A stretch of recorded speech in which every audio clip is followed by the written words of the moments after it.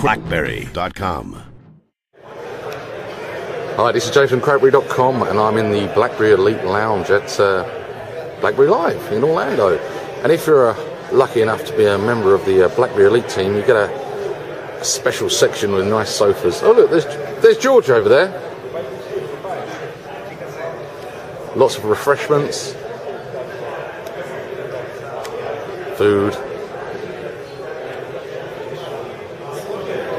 and nice comfy places to sit down.